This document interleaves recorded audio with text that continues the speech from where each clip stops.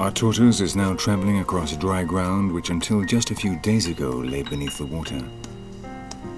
It is 50 degrees centigrade and her dark shell rapidly absorbs the heat, while the dust from the dried out mud chokes her. This is the plains at their most cruel. At least she is lucky in that she doesn't depend on the water as much as the fish, or on body temper as much as the mammals. Otherwise, she too would be dead by now.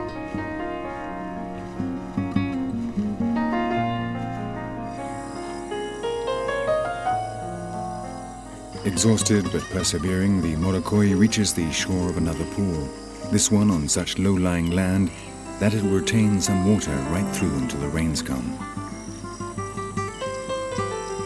This time she doesn't hesitate. A group of leafy trees rises above the water at some distance, and thinking this is the forest, she enters the cool water which cools down her burning shell, bringing relief from the heat.